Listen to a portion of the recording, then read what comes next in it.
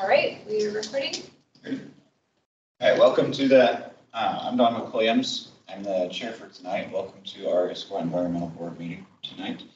Um, Due to the virtual format of our meetings, here's some quick guidelines. So could our participants online and others in the room, please speak clearly and pause frequently. Um, State your name each time before speaking and mute your microphone when you're not speaking.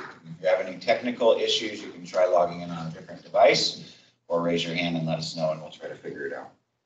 Commissioners uh, in the room, if you desire to speak, just like normal, please put your little sign up. Um, we- We'll call on you as we go around. Any commissioners on the virtual side, if you could just raise your hand, we'll be watching for you. And then we'll be summarizing our, our topics at the end of each topic, if there is uh, a summary to, through.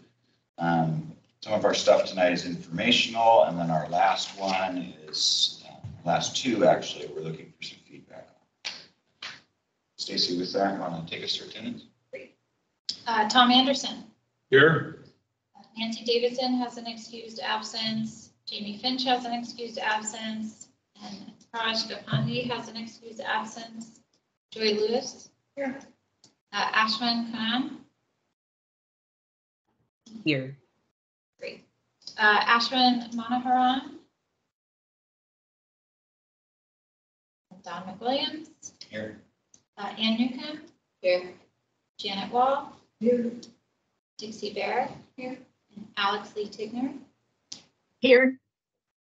Um, we have quorum, we have three members missing, so our three alternates will be sitting in as regular members.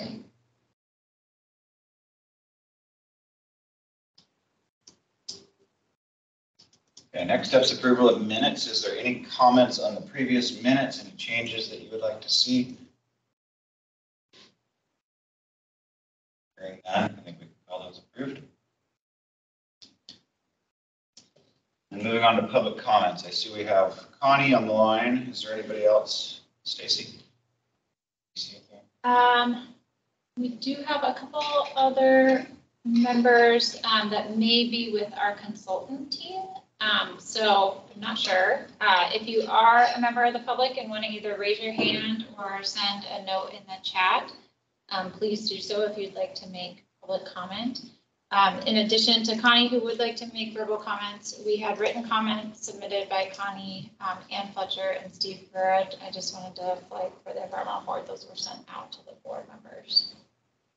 I believe Connie at this time is the only one that wants to make verbal comments. Connie, floor is yours.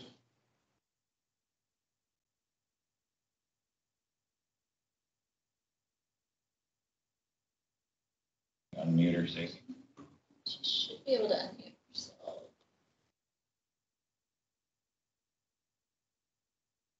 One second, Connie, you're muted.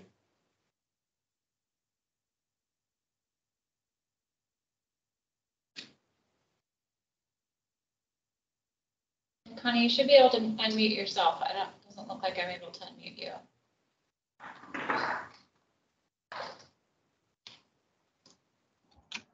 How about now? Yes. Yes. I will tell you what it does on this end, just so you know. It periodically flashes a screen giving you a three key task to unmute yourself. There is no unmute yourself thing other than that. So that's why it took me so long. So now you know when people look confused, that may be what happened. Okay. Um, so I sent you a grumpy email and then a more thoughtful email. Um, so I am going to start with the difficulty of comprehensive plan consolidation and updating. So without knowing where you are, like what the current comprehensive plan policies are in some sort of a matrix, it's really hard to understand what you have attempted and whether it's working or not.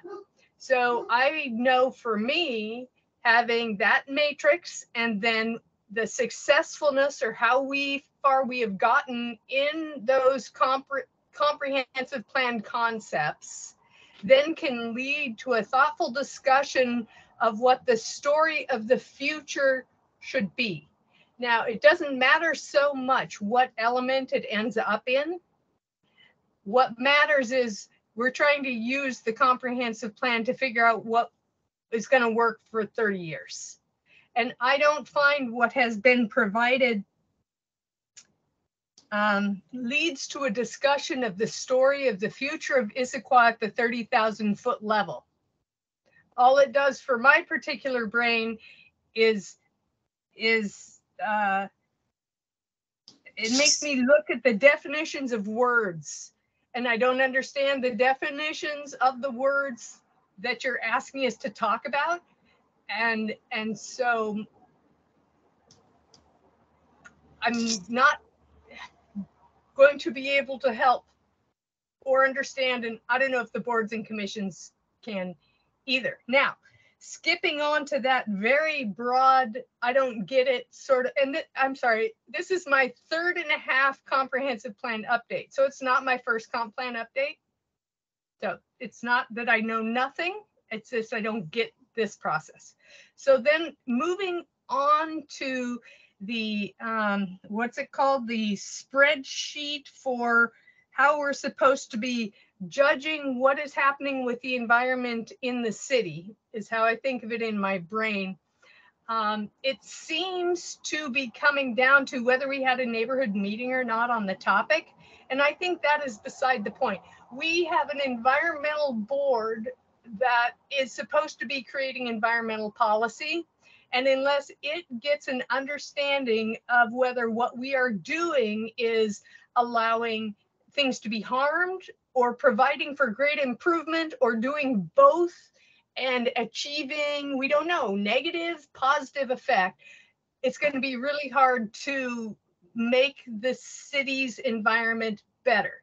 And so what is provided for the data for the environmental George uh, board judgment is not what I experience in life. I see all kinds of projects that have happened, some with improvement, some with harm, some are in the middle, some are wildly out of date, and yet none of that is reflected in this report. And so I don't think that we are gaining um, what the environmental board needs to make good decisions by what was presented in this agenda. And the sewer plan, you know, that seems sort of like it's frittering around the edges, except for the fact that if we put everyone on sewer, then we're basically going to be flushing most of our water out of town. And um, and that's not necessarily a good thing for our aquifer. It's not a bad thing to have uh, properly functioning septic in our town. Thank you. I don't know how to mute either, but maybe you'll do that. Great, thank you, Connie. Um, we do have a number of other participants. Uh, want to make sure no one else wanted to provide public comments. If you do want to, uh, please raise your hand or you can put a note in the chat.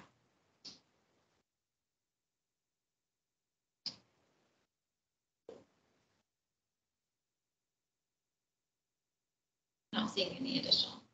Hearing no further comments, let's move on to our next topic. And Stephen, you're up. Stephen's going to give us an update on the comprehensive plan.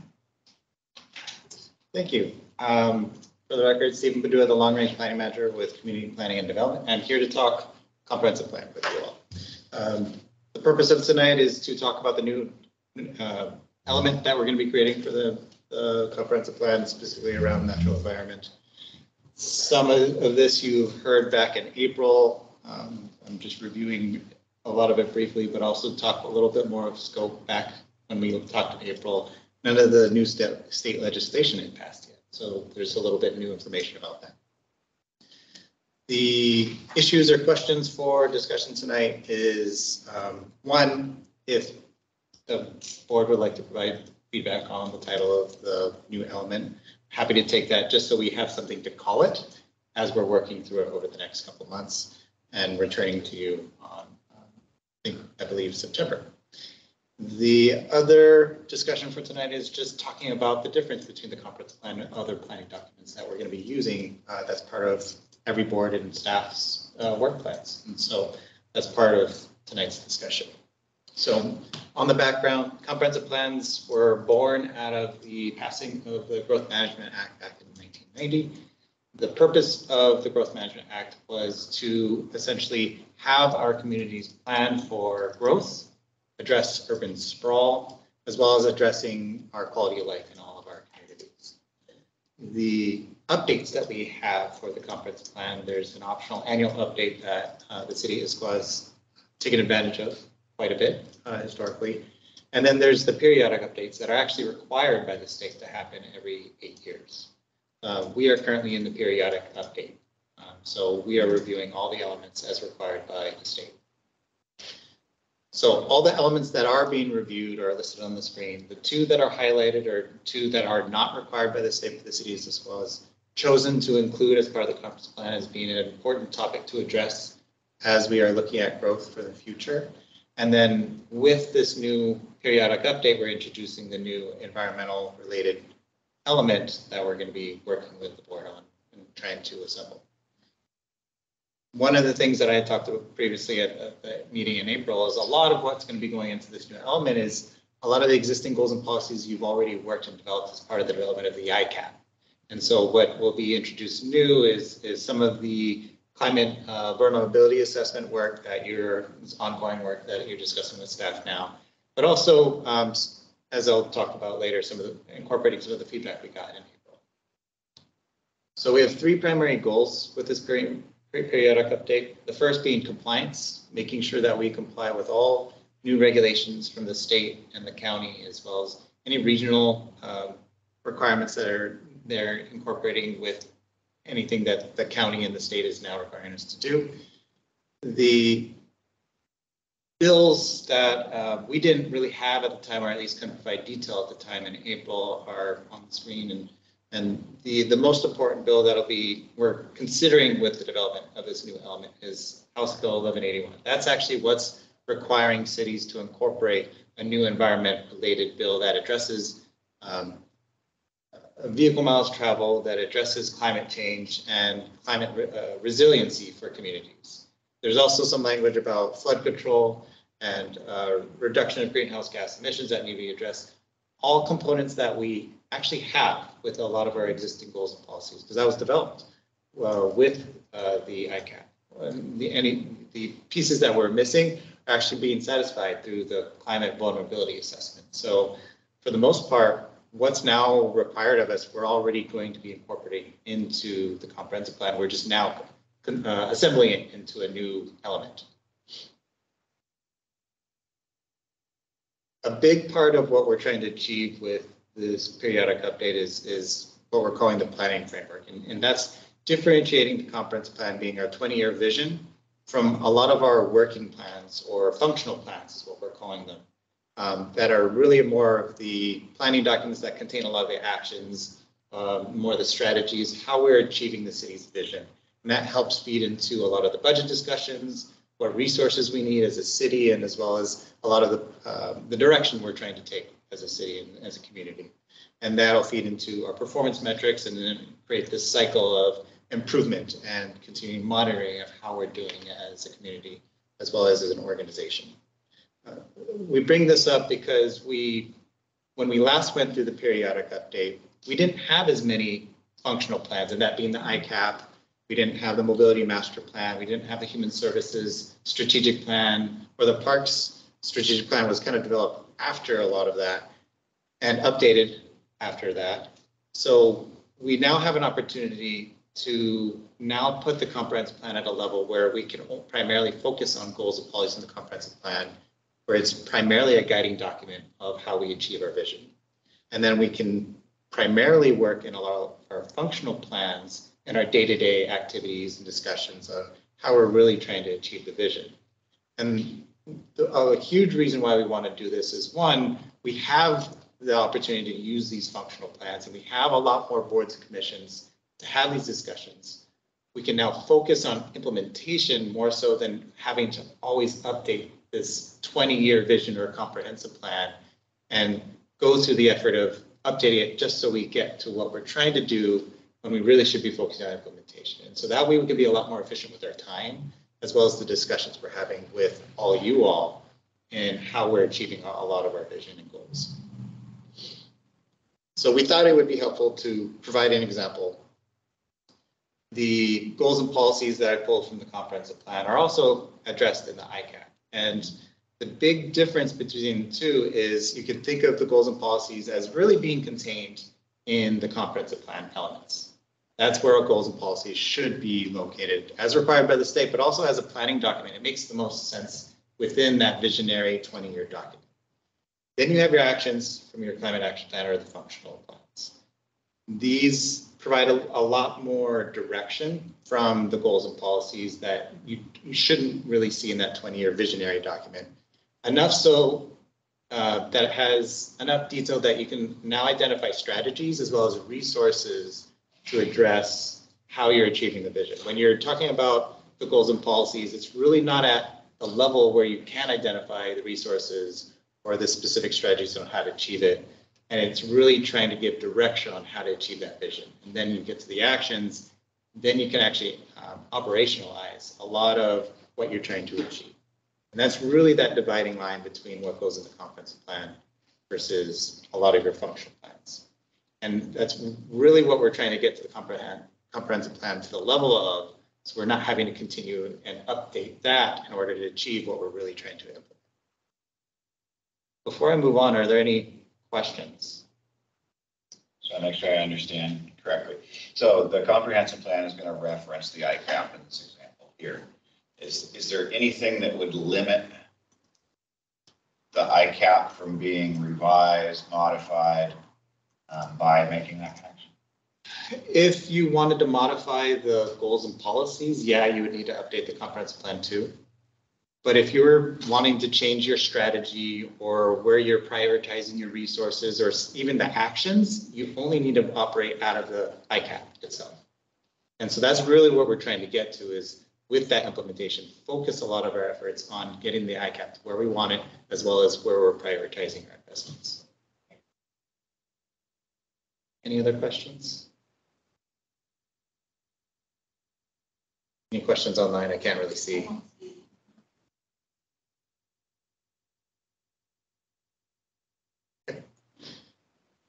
So what we heard back in April, um, the topic areas that we pulled from the existing land use element, uh, which is what contained all the goals and policies from the ICAP. The suggestions were to maintain the natural environment preservation in this new element, to maintain climate change and how we're addressing it into this new element. And then with the climate vulnerability, incorporate more of the climate resiliency um, goals and policies that'll be added now to that set of policies and goals. Um, the other feedback we heard from the board was we, we should be able to address what, how the other elements are actually achieving some of this vision too. Um, some of the elements do contain goals and policies that address climate change or uh, greenhouse gas emissions or reduction of vehicle miles traveled. So we want to be able to show that relationship within the new element and explain where they can find them. And so we'll be looking to do that with the new element. The other feedback we heard is we, we want to maintain a lot of those existing goals and policies in those other elements um, and not try to consolidate it into the new element because it just makes the most sense. Keep it in the topic area that's maintained. And it's, it's more effective when you're able to find a transportation related policy in the transportation element you know how it's achieving or trying to achieve the climate change goals that the city's established for itself. The other feedback we got from the board was establishing an ecological uh, lens to as we're reviewing the comprehensive plan for coordination across the different policies, but also as we're looking at how we're achieving um, the vision for the city, making sure that it's being addressed there as well, and not just narrowed to this new element. Yes, Joey. Um, I had a question about this I didn't see included, um, in feedback. When we were going through Title 18 and we were linking policy to code, uh, we found that specifically regarding, um, bogs and peat, um, being able to have policy that talked about, how much infill was coming in, trips per site and things like that was a little um, more gray and would needed to be addressed at another time. Um, And when we talk about kind of our policies, being able to give birth to our code, I'm curious how that's going to be able to be folded in um, as in this kind of ecological lens. We know that there's a little bit of a a gray area, a little bit of a hole in some of these things. Uh, And sometimes that's a good place for us to start talking about how we add policy in. And if there had been a discussion from staff of kind of adding in some of those elements. We did talk about that um, through Title 18, or the, the project to update Title 18. We, it's identified as one of the uh, uh, future update items for Title 18, and so that's actually something that we'll be addressing in the future. We decided it- it, it was too detailed of a level for policies to go into the comprehensive plan. Rather, it should be as part of one of the functional plans or the system plans that look at how to really achieve um, what was discussed with Title 18. It, it may um, behoove staff to look at um, how we kind of um, break apart and have subsections of our policy of being able to add a policy in that talks about and reinforces the importance of integrating that, because right now it's kind of lacking from our policy, and so it's kind of a jump step right now. Um, We know that there's a funding, we know that there's an end round that needs to happen prior, and being able to kind of solidify that with a subsection in policy maybe worth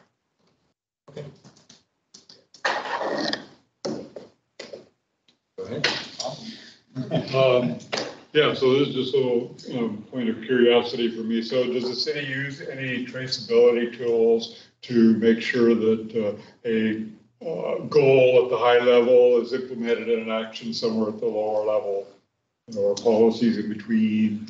Uh, These are all connected and there are tools out there that help you track that sort of thing. Is that something the city does? Historically, the city hasn't done that, but more recently, we've actually been driving more towards a data, uh, data-driven decision-making process. And so with this periodic update, that's actually what we're trying to achieve, is being able to trace how a lot of the actions or what's going into the budget or what our work plans look like, how that traces back to the goals or even the vision for the city. And so with this new element, we're hoping to create a lot of those new relationships. It'll, from my experience, that's something that takes a lot of time to really perfect. So we won't get it done or perfect the first time, but it is something that we are actually working towards.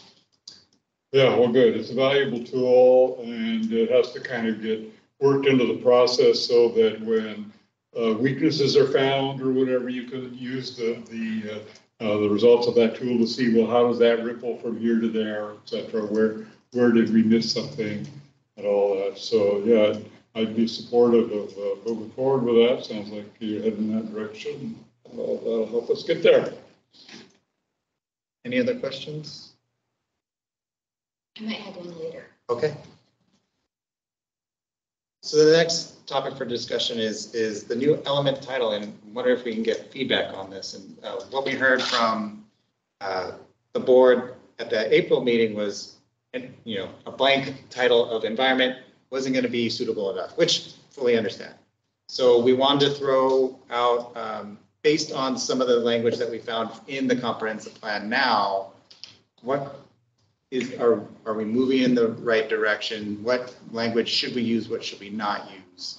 And again, we haven't decided on anything. This is primarily just getting in the next step of getting more feedback from the board. Paul, do you have a comment? Um, yeah, the word, a word that I like is stewardship. So I would propose something like natural environment stewardship, and I don't remember exactly where that word has been used in some of the language uh, that that motivated this whole, this whole process. Uh, but it, it captures well the idea, well, it's not about just preserving the status quo. It's about, uh, you know, being a good steward to uh, make it uh, better if it needs to be better. And uh, it's, it's, it's more, um, reflecting on what our role as humans is in process, uh, of being good stewards of the land. So that's, that's my thought. Great feedback. Thank you. Of those, I like the third one, natural environment and climate resilience. Um, As I was looking at it, I also thought, hmm, should like uh, something about greenhouse gas reduction be in there as well? So um, natural environment, climate resilience and mitigation, maybe? Just just like that. But, that, but Tom's word could be, it was stewardship, right? Uh, yeah, the issues of like, uh, the Environmental stewardship. greenhouse gas reduction, see, that's all part of being a good steward. Yeah, So it kind of catches those kind of things. feeling. So it could be environmental stewardship. I do, I do think climate would be good to have in there, climate resilience. Joy, Joe content? Uh, yeah, I, um, in brainstorming, I, um, I do support and really enjoy the word stewardship. I think that that's a nice succinct way of doing it. Um, I had amplify and preserve the natural world, um, things like protecting the environment, um, environmental preservation, enhancing our natural world. Um, and would be a proponent of, um, maybe using more direct language that makes our sister cities used in this. I don't know that you need the word natural. I think it's implied. I think you can just say environmental or environment. Uh, I like the stewardship idea. I think that sounds really good. Yeah, environmental stewardship. and Climate resilience, because the environmental stewardship is part of the mitigation, but the climate resilience is a step more where we're taking action to um, put up places for people to go and it's too hot, and you know, emergency stuff, right? You said environmental stewardship and climate resilience. Uh, That sounds kind of good. You looking for an exact title or? you looking for- I just, we're looking for thoughts. We, we, you know, we, we knew what we, we shouldn't be including from the April meeting. We wasn't sure if we were kind of hitting the mark with some of the suggestions, so this is actually really helpful. Any other thoughts? Okay.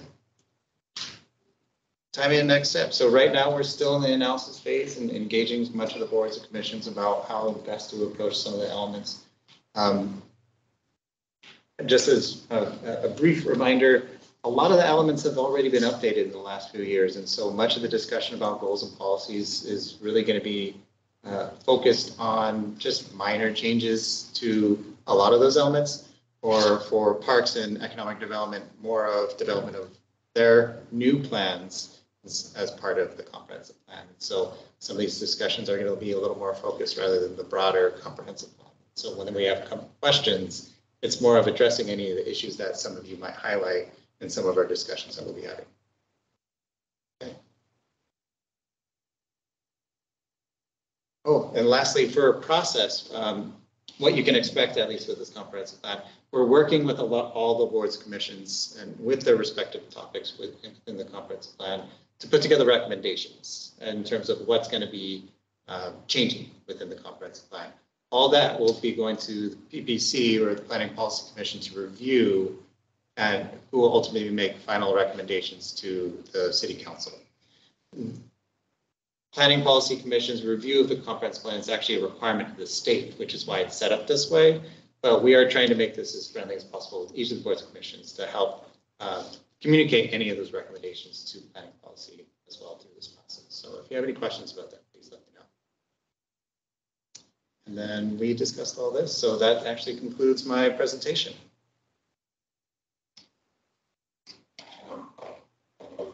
Yes. I have a question that may be more detailed than you were looking for, but it's something that popped out at me. So, um, on the environmental impact one, the new one, uh, there's housing and jobs. And I noticed that we're at like hundred and four percent of hitting the target, so we're beyond the target for housing. We're, we're beyond the target for the year, Oh. not our total target. I see. And then for jobs, it was, um, the, the target, we were like way off the target. And so I had a few questions about that. So what, one thing is, is what does, there was a, a chart where it said, commercial, um, takes one acre job capacity would be eighty-nine. Um, industrial takes twelve point five acres, and that would be two hundred and eighty jobs. And mixed use is two hundred and forty-four point three acres and twenty thousand seven hundred and thirty-eight jobs. So what is the mixed use? Is, I- is that the, what was read on a map that was farther down? So like, um, stores, storefronts and stuff? Yeah, typically the mixed use is going to be, um, you know, residential top with ground retail. Uh, sometimes it'll be ground retail, commercial middle and residential top. It really is, it's mainly just explaining it's the combination of different things, uh, or uses in- within the same building. So when you say, so I noticed it was just in a specific area, so when you say um, residential, so a lot of people are working from home now. And when um, the Growth Management Act was written, we weren't doing so much um, virtual commuting. Right. And that is, um, that's a big part of it. And I know that they talk about it at um, the UTC and stuff like that's, that, we want to promote that. And um, because there's a lot of infrastructure that needs to be built, you know, roads and um, just new lanes and off ramps and then buildings. So that's a lot of energy. So do we need, so how important is it? Do you feel a lot of pressure to, as a city, to hit those targets so that you can get grants or? Are you talking about the growth targets? So like the, the number of housing units? Yeah. It, it's primarily of just, that's us setting a goal. So, um, one thing to consider is we have a building capacity analysis as part of the, the comprehensive plan. And, and the total capacity that we could do based on our zoning today could be a total of about twelve thousand new housing units in the city. Our growth target for housing, we've set at three thousand housing units by, well, it was by twenty thirty-five, but it now be twenty forty-four. And all the other cities have set very similar housing targets to go for. It's not necessarily that says how much population will grow. It's primarily of saying this is what we're aiming for and encouraging for in terms of development coming into the city. And um, most of that is going to be primarily, or it's encouraged to be primarily in central Issaquah for much of the growth for now. So do you think it would help us um, reach our climate goals if we encourage more telecommuting and virtual? So giving people credit for working at home. Um, I didn't see that in the equation at all. So there's a lot of people in Issaquah that maybe we could be counting because they have home offices now. They, they might, they, they used to go into the office in Seattle or Redmond or someplace else, but now they're here in Issaquah. So that might help us reach our target. It depends on the target we're talking about. The jobs target, The, yeah. the jobs target, potentially, the Both state, targets. so the state is actually, um, has been discussing how they evaluate the workforce, because work from home has become a lot more prominent with the pandemic. But some of that is shifting in the other direction now. More recently, a lot of the larger corporations or businesses in the region have been shifting and ha- having their, uh, employees come into the office a lot more. And so a lot of people are still trying to monitor to see where this actually lands or what direction it might be heading. If, is it, is it going to be a split hybrid model for a lot of these businesses? Or is it going to be focused on um, promoting more of the work from home and and what that means? And so that'll actually help us determine what our targets should be. Because if we're looking at our, our commute trip reduction targets, we've exceeded that with all the work from home shift during the pandemic um, by a lot. But if we're just looking at greenhouse gas emissions, when people shifted from green, from working from home, other people shifted from transit to now driving their cars. And so now you have this complete shift in travel behavior for a lot of the communities in Issaquah and around Issaquah that is now changing how we are now gauging where a lot of the greenhouse gas gas emissions are coming from.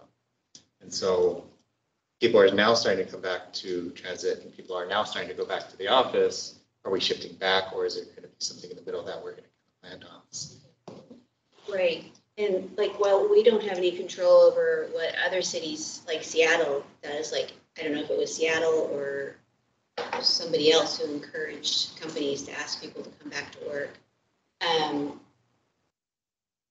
as a city, we might be able to work with the businesses here to say, hey, we encourage you to help us reach our climate goals and encourage you to, um, if you want people to come back, then have the different businesses um, do it on different days so that it reduces the traffic.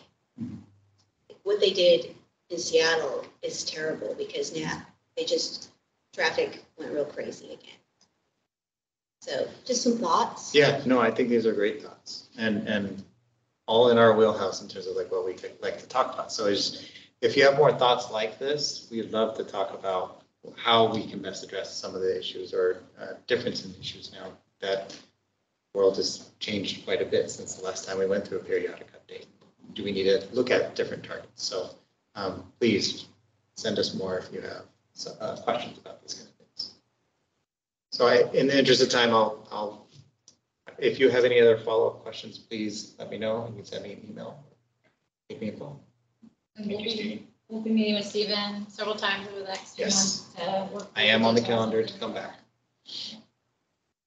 All right, well, if there's nothing else, I will head out. Thank you all. Yeah, thanks. Good to see you again. Yeah, it's good to see you. Okay, next up is uh, the natural environmental checklist. This is our annual review of the checklist, and Christian's going to be walking us through this one. Welcome, Christian. Thank you. Can everybody hear me okay? Yep. Great. Uh, yeah, I'm Christian Getz. I'm the current planning manager, and this is the uh, annual check-in on the natural environment environmental checklist.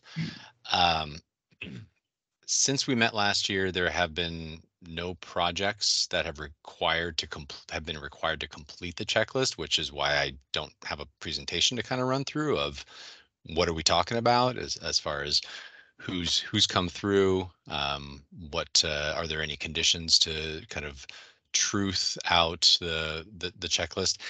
As well there aren't any projects that have been completed so kind of those two benchmarks of new project in gone through the check you know provided the information on the checklist and then the the wrap up uh phase. So really, this is a, a- an an opportunity to run through the checklist with the the changes that have happened since last year.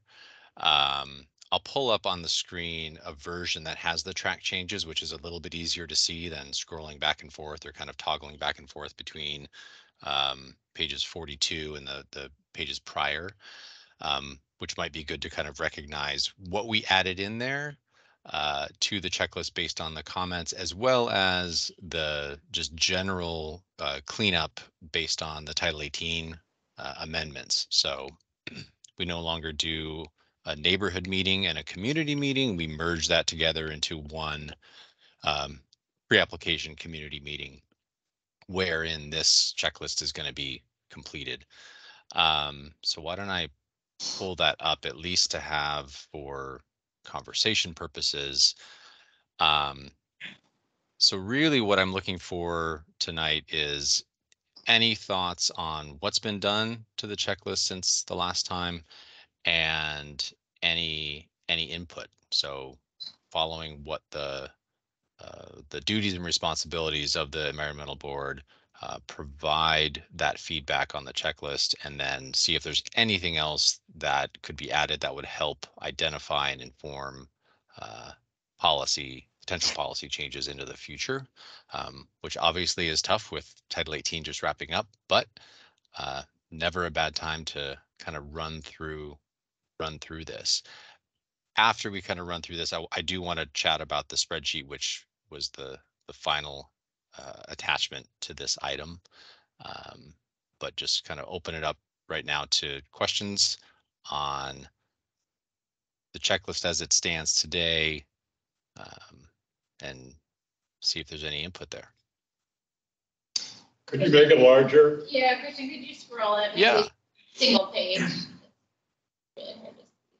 Um, And maybe maximize on your screen, because we're seeing a couple different docs, documents up. We didn't get draft changes, right? No, I think when I PDFed it, for some reason they disappeared. So that's what Kristen's gonna walk through. You have this document, but I don't think it showed the track changes and you have the old one. For some reason, Yeah, the track changes didn't remain in the PDF. sure, sure. So So some, the, the, the, the are- majority on the first page, I'll go through real quick. These, these were just code, the CODA update, um, edits. So there was, there were no changes to the, uh, you know, the reasoning behind this. Uh, into the checklist, uh, this initial section, these were changes based on, on code updates and then, um, adding in sort of based on recommendations, when there is a stream or a wetland, what is the buffer condition?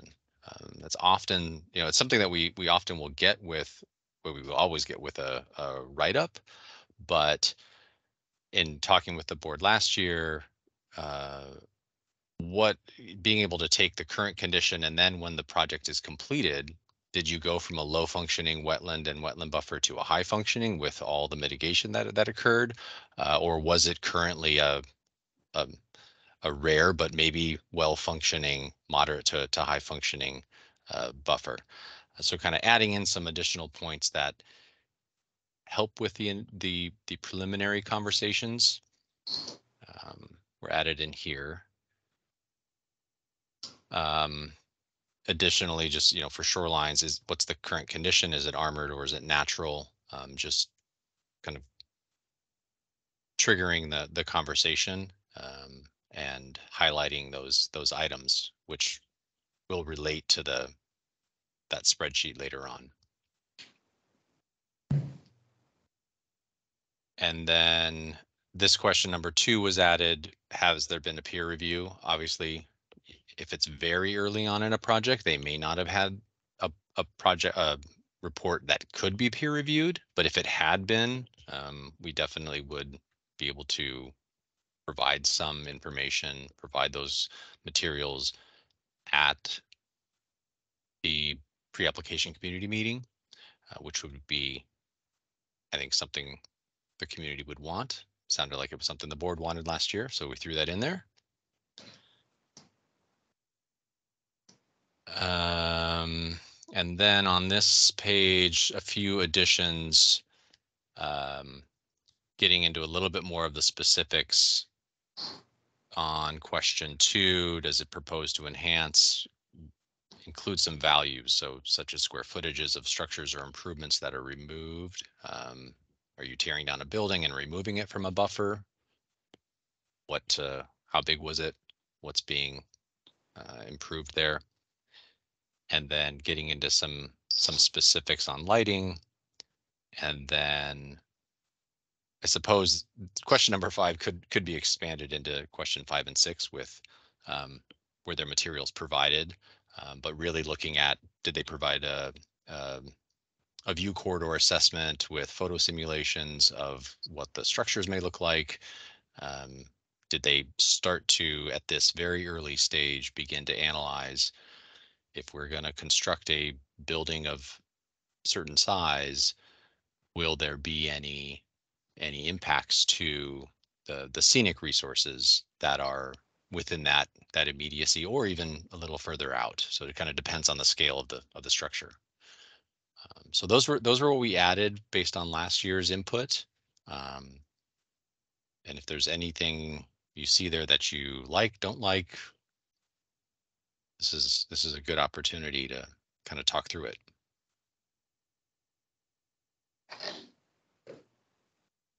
Tom?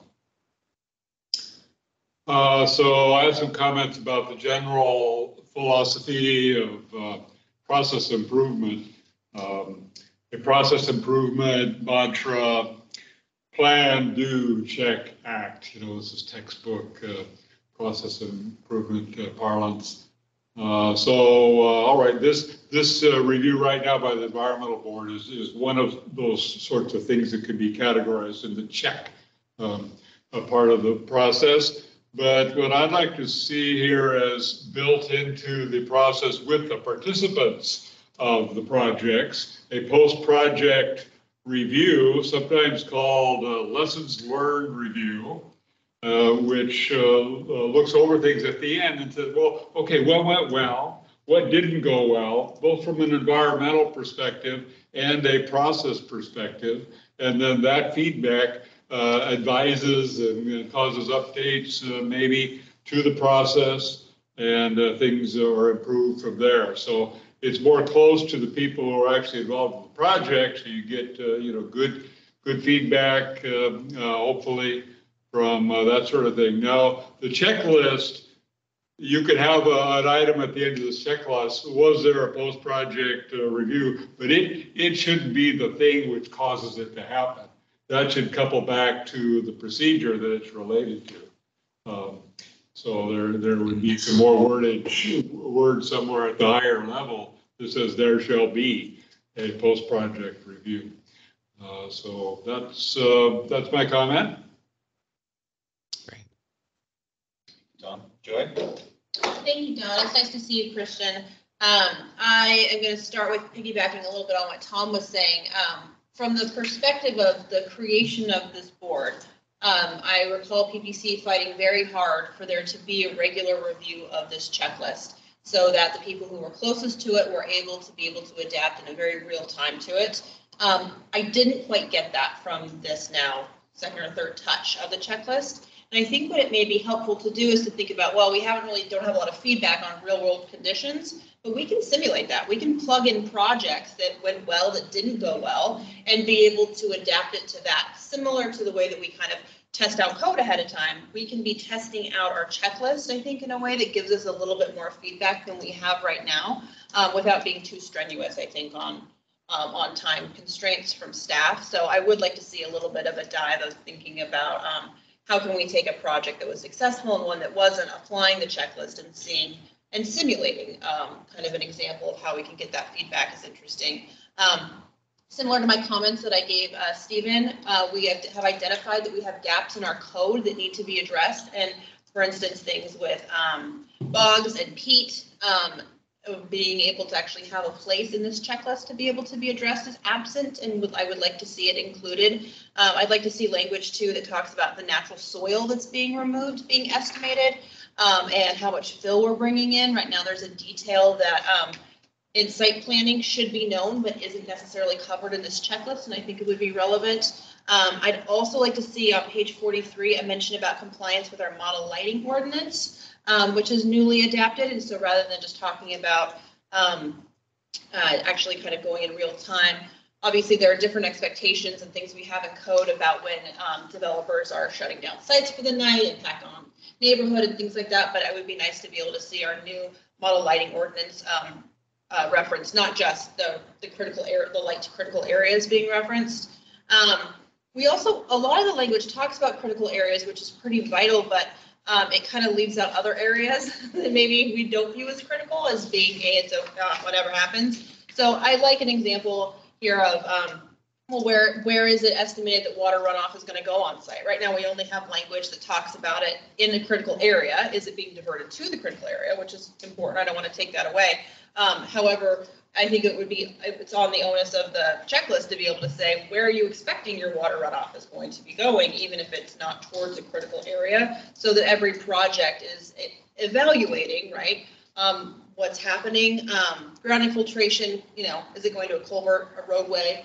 Um, so uh, I appreciated your comment about view corridor assessment. That's something that was um, needed.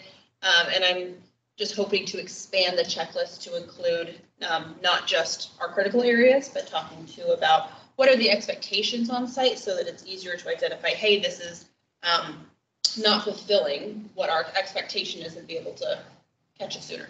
Thank you. Thank you. Thank you, Joy. Um, I would echo both Joy and Tom's comments in that I think this needs to be ground-proofed a little bit more. Um, I, I know you haven't had an opportunity to really run much projects through it over the last year, and that's unfortunate. And so if you have time or if you can figure out a way to do kind of a mock setup, that would be interesting. It might be a nice exercise. Sure. Yeah, one of and one of the the- the tricky pieces about this checklist is that it is intended to be very, you know, to be managed at the at the very preliminary stages of a project um, to to, in- to, to press upon an applicant, these are the important factors to, to consider in how you're designing your project and what you have to comply with. Uh, so it's, it, it can take some time before they've gone through and, and analyzed a lot of these things to know, okay, how do I manage um, or how much fill or, or, you know, in, import or removal uh, is needed. Um, and kind of segueing into the, the, the spreadsheet intent, you know, by capturing these items and adjusting them as a project shifts. So the example in the packet had the Milano project. Well, that was its initial proposal with so many units, I think a 25% reduction, you know, that project has morphed over time. It's fewer units. It's, I think, a 17% buffer reduction and, and a few other changes. But as a project is completed, we can see internally what's happened. So we can, you know, as part of a, a reporting out back to you all, here's what the project was, you know, here's the change, you know, here's their, their changes in the, it, one way or the other of more uh, more buffer enhancements, less buffer enhancements, depending on what the code requires. Here's how they're in line with the code. And then that can help provide information to the board as well as assist in future uh, code update uh, processes if if needed, where we can say, here's where here's where we're seeing um, improvement, and here's where we're seeing room for improvement based on completed projects.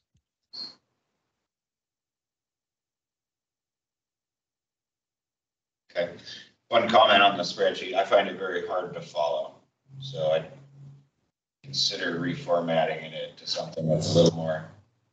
Yeah, it w- it was it was more just um, a, a a simplistic approach to to tracking. Um, I've I've dealt with with tracking of of shoreline improvements, monitoring project after project over the course of 10 years and adding in even, you know, the every tree that's added, every, you know, overwater structure removed by square foot.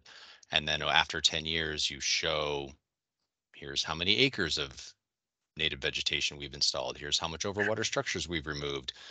Is that good enough? Or do we, you know, did we want to tweak that code a little more uh, to consider greater incentive, you know, are there, are there carrots or sticks that we want to put towards that? So that was kind of the intent behind what will help staff have something to, you know, utilize to make sure we're, we're catching everything. And then we have something to, to come back to this board to, to report out on. So.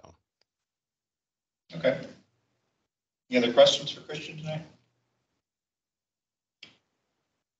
All right, thank you, Christian. Thank you very much. Have a good evening. You as well. All right, next up, we're gonna hear about the sewer master plan update, and Matt is gonna walk us through that. We also have Evan and uh, Julie online. All right. Go ahead and figure out a share real quick.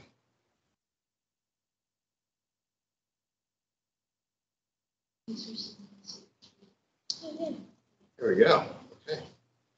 Good evening, Matt Ellis, the Public Works Utility Engineering Manager. And tonight, yeah, we're talking about the sewer master plan, providing an update, and we're going to talk specifically about some of the policies that we're considering for the master plan. Uh, For a quick agenda, we're going to go through the timeline uh, from now until we adopt the plan. Go through a quick background about uh, where the plan began and and how we've been developing it. Give a quick overview of the master plan and then the policies that we're considering. Uh, We'll go over very quickly the on-site septic system code revisions. We've talked, I've brought this before the environmental board back and way back in February and then Mobility and Infrastructure Committee. So we won't have anything necessarily new to present on that, but I will provide, since there's a few new uh, board members, bring that up again. And then we'll talk about surcharge and capacity, pro- capacity protocol, CIP development, and then fats, oils, and grease, FOG policies. So uh, we are here in July and going to provide just the, the draft of the, the um, policies that we're discussing. Uh, In September, we'll be going to mobility and infrastructure again to talk about the consolidated master plan. Uh, Then we'll be going to SEPA, uh, going for SEPA review uh, and code revisions, uh, putting in all the red line code. And then our hope is to get this through council in October and submit to the Department of Ecology in November for adoption by the end of the year. That's our goal. So a little bit of background. Uh, the city of, the city's sewer master plan was last updated in two thousand two. We've grown from a town of eleven thousand people to about, uh, to nearly forty thousand residents, including mixed use, large commercial, in a large commercial district. Large sections of the city were either built or incorporated since the last sewer master plan was developed. Uh, we were in desperate need to evaluate our system. One of the first steps in creating a new master plan was developing and calibrating our hydraulic model. Uh, this allowed us to determine how certain demands, uh, both current and future growth, impacted our system, as well as evaluating the effect of intrusion and infiltration, commonly known as I and I, as on the system. This is where storm, surface or groundwater unintentionally enters our sewer system. I and I has a major impact on sewer capacity and can create environmental concerns if a large con- uh, connection is identified and creates costly downstream, downstream treatment, which is managed by King County. Uh, all sewer systems have INI, and the goal is to effectively manage and reduce the amount of INI entering the sewer system. Uh, we can note, we can't get rid of it all, but we can reduce it. Uh, work included installing flow meters and identifying flows and calibrating and recalibrating the model. Finally, we set about identifying a model storm that we felt our system should be able to handle. So here's our system. Uh, all the red lines are our sewer pipes. Uh, the gray is Sammamish Plateau Water District. So uh, we don't serve the entire city. Uh, a third of the city is served by Smash Plateau. Um, so we're focusing primarily on our system. Uh, at first, we provided our consultant with our GIS system and a series of record drawings to, so they could help calibrate our system. We then set about uh, um, utilizing recent determined water system demands from our water system master plan. Uh, uh, and then checking pipe slopes, and evaluating estimated flow rates. This developed our dry weather conditions that we could evaluate compared to our dry weather flow meter data. Uh, this then helped calibrate our system. Uh, we made sure that the meters were in place for a series of storm events to see our system perform during this period. We had two relatively major storm events during the, uh, the period it was in, uh, up to the 10-year storm event. Uh, and this supports our INI calibration. And then we made sure our flow meters were all uh, distributed to be, were located in every major basin within the city. And um, this helped provide the best calibration. And we used about 10 meters uh, for about six months. Uh, the final step was determining if surcharging was occurring during any of these uh, measured storm events. Uh, and comparing those storm events with a modeled storm that we felt the system should be, be able to handle. So again, this is our system um, based on uh, basin, flow basin. Uh, you can hardly see the blue is the pipes that we actually modeled. Um, and so we didn't do every pipe, just the major pipes and the ones that had the most amount of flow entering them. It would, be, it would have been too costly to model the entire system.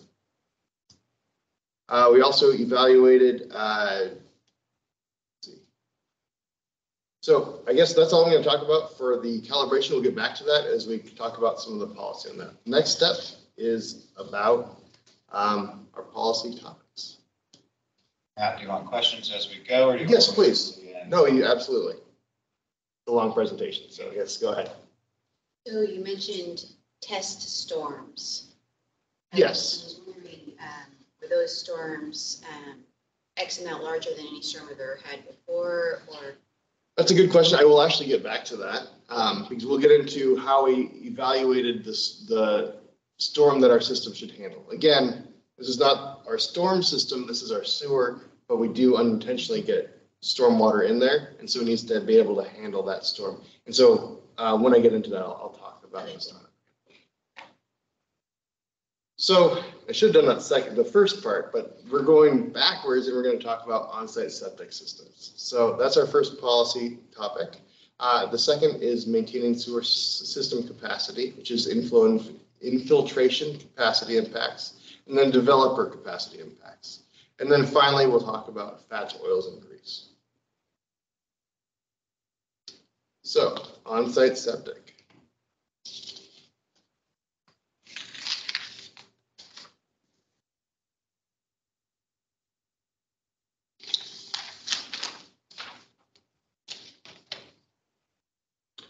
Okay. So the on-site septic system code revisions and policy was brought before the environmental board in February. Uh, the first few slides is just a brief summary, like I said.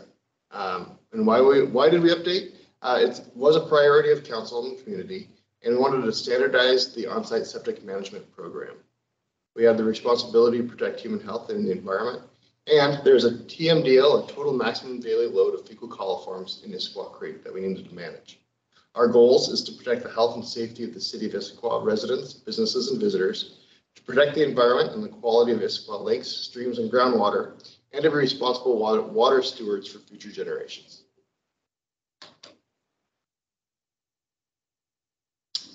So uh, we are updating uh, the the the municipal code, chapter 13, uh, which is involving, uh, involving inspections, reporting, definitions, connection requirements, connection waivers, and enforcement.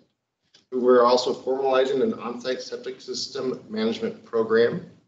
Uh, And uh, this requires all septic systems within the city to be inspected by a licensed inspector to verify if a system is functioning correctly and make proactive improvements when necessary. We're also creating a stream monitoring program.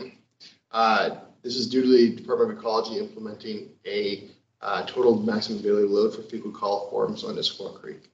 Uh, The program is in place to complete stream sampling for fecal coliforms throughout the city, uh, and this is uh, a several year process uh, to complete the entire sampling. We have completed eight samples so far throughout the city uh, in 2022 and 2023. The locations were selected near unsewered neighborhoods.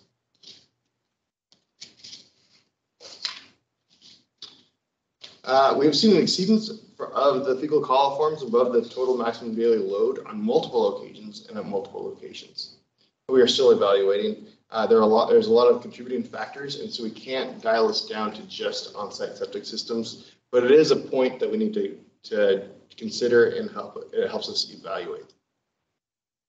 Uh, yeah, Go ahead. Um, I was curious, uh, when we talk about this, um, dichotomy, right, of, of aging septic systems and then being neighbor to so many communities that are in the greater Issaquah area that are, um, built on hillsides and utilize septic systems, right? I'm thinking of Fairmont, things like this, that will impact downstream in Issaquah Creek. How are we thinking about, um, that connection specifically, um, for neighboring communities and youths for impacting those levels Are you talking about upstream communities? Upstream, well, and then, I mean, basically surrounding communities, right? We, Yeah. we're kind of all the way around, Yeah, right? That's true, yeah, and that's been a bit of a challenge. So we, part of the sampling is sampling the upstream section, so we get a base point. Yeah. Make sure that we're not the just, we, we know we're not the only contributors, and it's not only septic systems. We're not, we can't po- point fingers at only the people who are septic.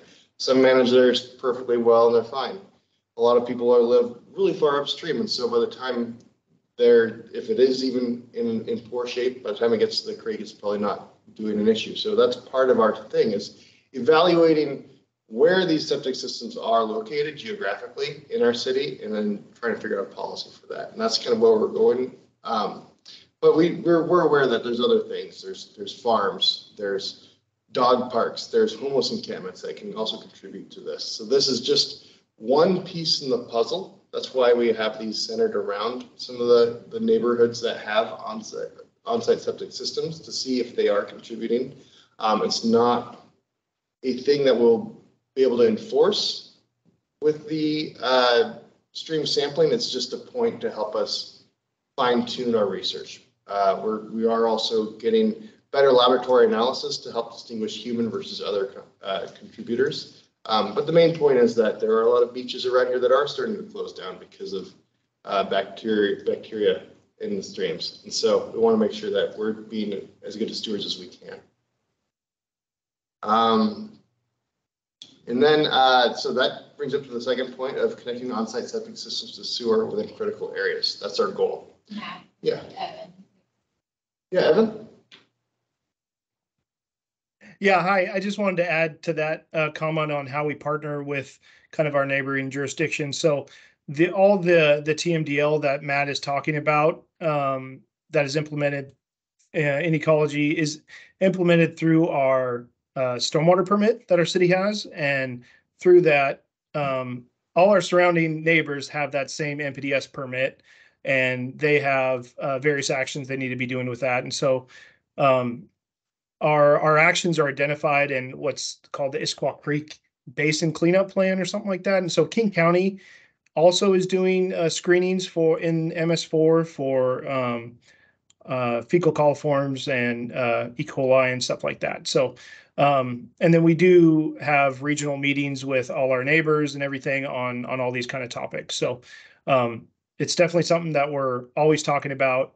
Um, and we have lots of regional partners that are in the same boat as us on that. Just that we're the headwaters, which makes it a little challenging. Um, yeah, go ahead. Well, I'm, I'm a fan of data-driven decisions and, uh, sounds like you don't have the data to show that these systems are contributing to the coliform, uh, uh, count in. Yes and no. So we do have uh, data, and we have identified that we have far exceeded the TMDL of fecal coliforms around these neighborhoods. We know that there Yeah, is that's a because there contribution. was a bear on the creek. Potentially, but that's why we are also adding uh, uh, future laboratory analysis to distinguish between human and non-human. So That way we can actually make that determination. Yeah, well, it seems like you need that data before you decide on a policy change. Uh, That's, that's my view. Ah. Uh, and I guess, see, part of this, a, a, a well-operating, uh, OSS is an environmentally sound system. Yes.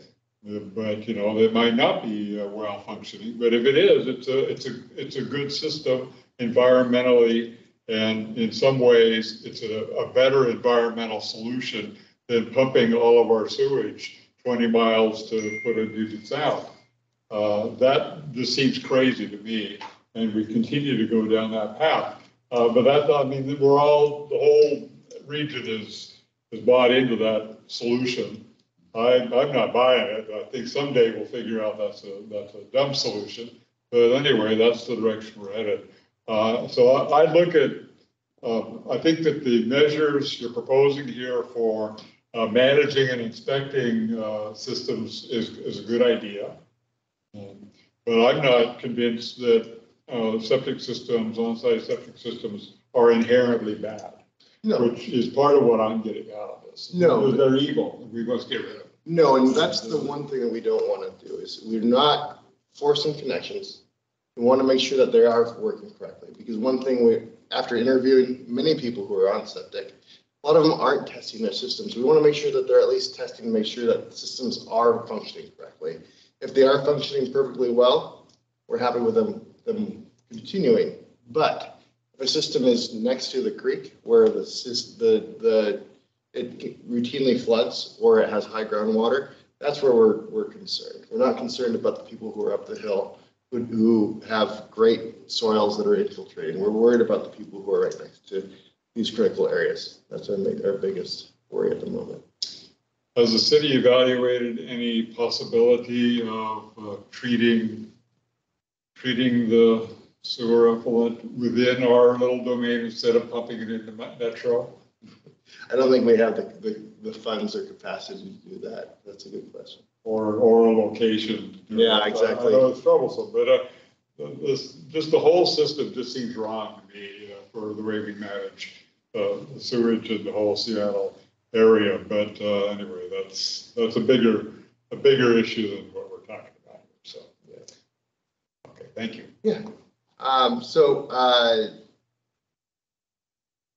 we did create the policy, uh, or we proposed the policy and received concurrence from mobility infrastructure, uh, that city would fund sewer extensions into, uh, critical areas that are in, crit- or neighborhoods that are in critical areas. And that's rare, that's where we're, we're focusing our energy.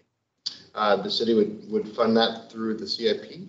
And then property owners, when their system, uh, fails or desire, or they desire to connect, would then pay for their side sewer. So here are the, the code revisions that we're proposing. Uh, basically, we would want to revise the connect, uh, revise from connections requ- requiring a connection required for parcels within, with structures, uh, I can't talk. Sorry. revised from connections required for parcels with structures sewer mains fronting their property to within two hundred feet of their property. So basically, right now, uh, we're saying that if sewer is next to their property, they would need to connect. But now we're saying within two hundred feet if their system isn't working properly. Uh, Isn't That, that being your keyword isn't working properly, you're not forcing people. We're not, enfor- we're not forcing people. It's only if their system is in failure. I have a question, clarification on that. So is that two hundred feet to, uh, the public system? Or suppose, suppose there is a private line system that, uh, goes into the public system, uh, that's, uh, available within less than two hundred feet? That's a good question. I think we'd have to evaluate that on a case by case situation. Uh, a lot of these, there's a lot of topo- topographic challenges no matter what. So even if it is, let's say hundred feet, there's a creek in the way or there's a hillside in the way, it may not necessarily mean that you are forced to connect because of geographic constraints. And that's something that we are considering as well. Good question.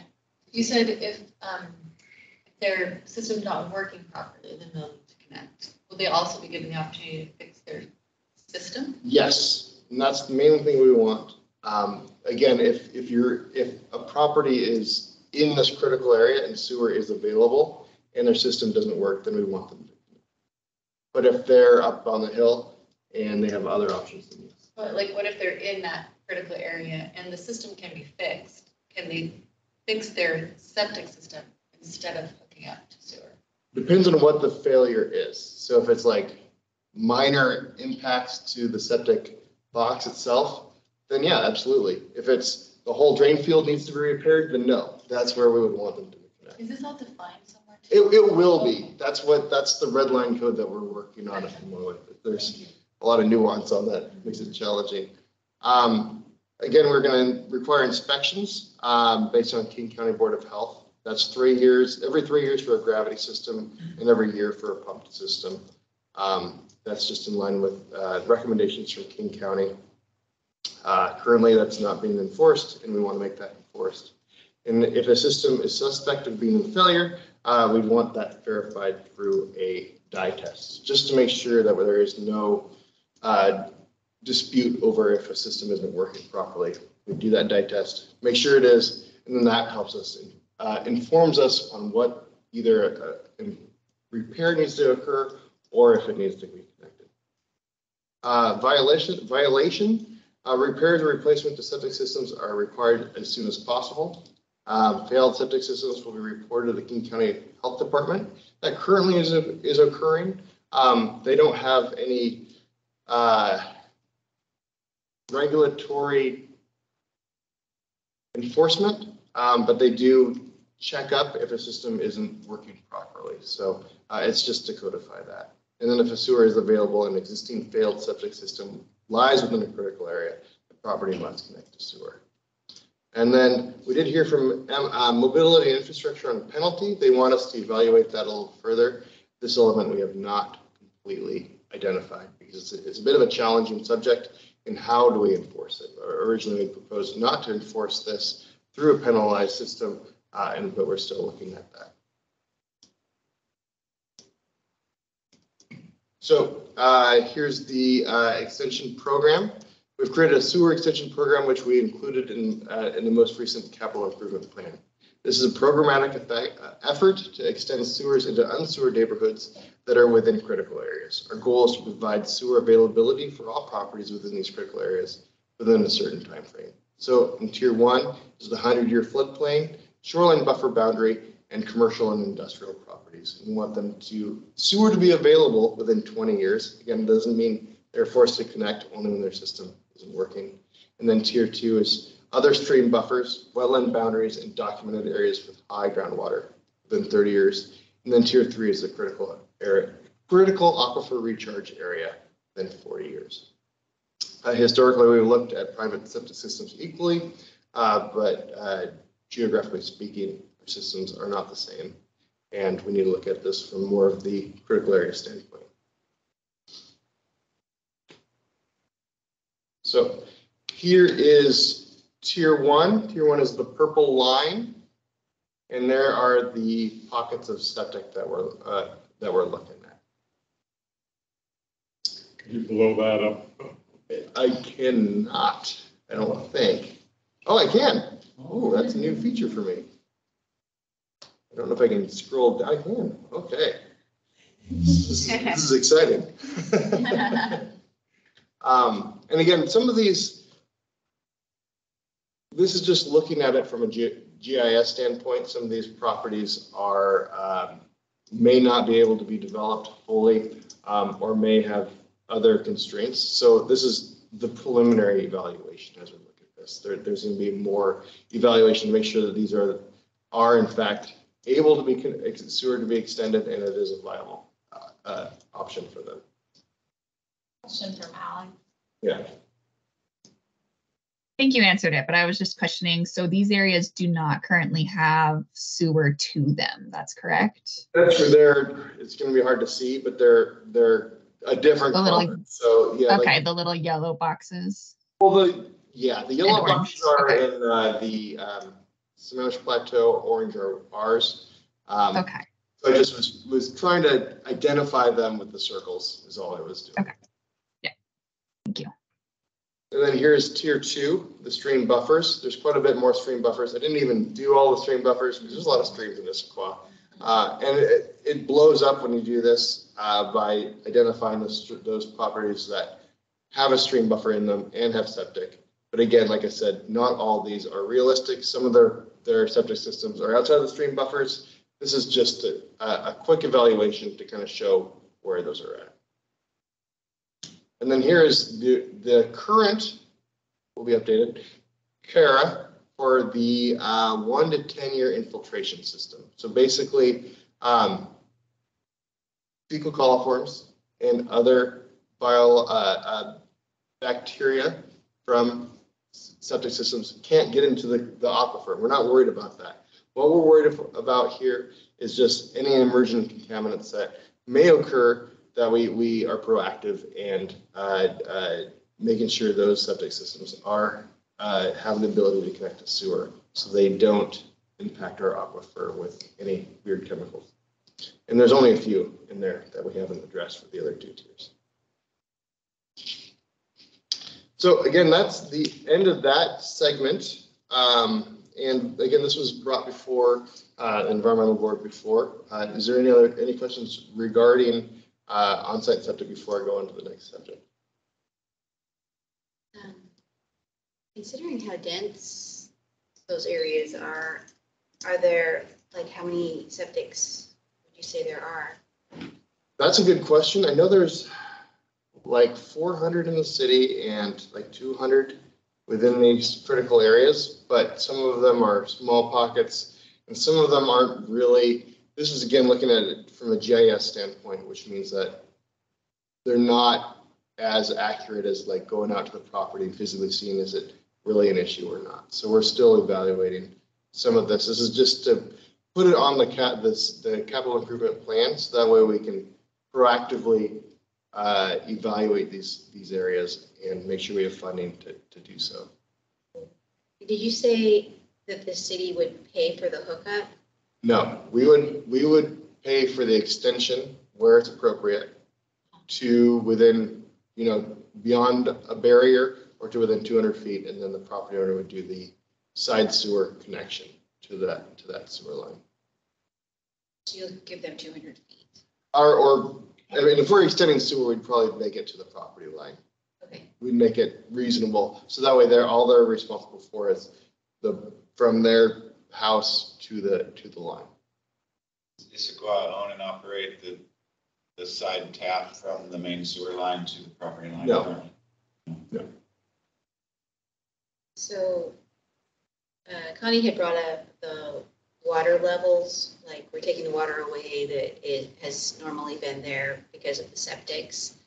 Um, And I'm not sure how it would work because of how dense it is, but have you thought about like, and I've said this before, gray water, like promoting gray water and just have, you know, There's a lot of challenges. We, we will actually talk about gray water as part of our FOG protocol. yeah. But that is- That is, I think it's more risky to do that, a lot more costly to uh, be treating and then infiltrating, separating your, your system, right? Your, your black water from your gray water, because then you basically have to have two systems in your, your house. And uh, I've been yeah, I've, I've looked into this years ago uh, on um, repurposing that stuff, and it's, there's a reason why it's not in, in the Seattle area, just because it's, it's very expensive to do. I only have one comment on policy, I think while we're still here, it's on page forty-nine, policy two A. Um, right now, our language, um, may require, um, is what's used, um, and I would prefer more precise language for the growth accommodation requirement. Um, I'd like to have an accommodation for inflow to have heftier language for capacity improvements. Oh, we're, we're not to that policy. Oh, sorry, okay. I was confused, but yes, we will get to that. Thank you. Yeah. Okay, so with that.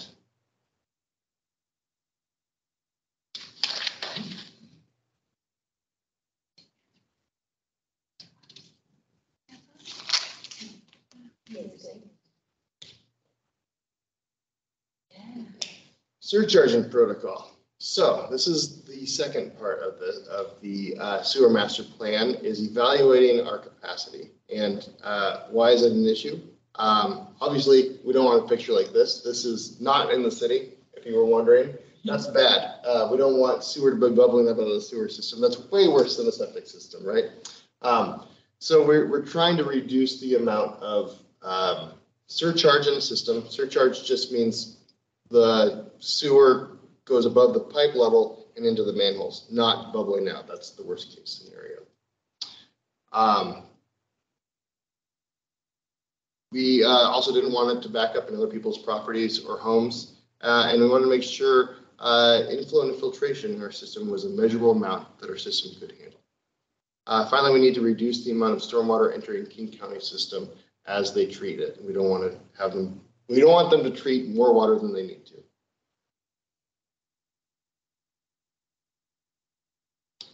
So, uh, one of our first orders of business was determining the size of storm event that our sewer system could handle, knowing some infiltration was going to occur in our system.